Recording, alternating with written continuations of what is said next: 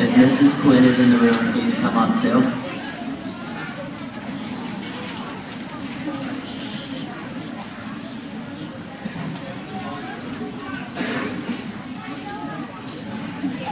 I repeat, if Mrs. Quinn is in the room, please come up too.